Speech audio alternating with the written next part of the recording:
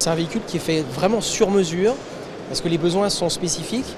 Euh, il faut un véhicule pour, les forces d'intervention, il faut que le véhicule soit le plus robuste possible. Euh, donc euh, bah, tout ce qui est électronique, il ne faut pas qu'il y en ait trop. Il faut que ça soit modulable, polyvalent. C'est un système qui nous permet d'avoir un retour vidéo sur ce que le chien découvre à distance lors de ses actions.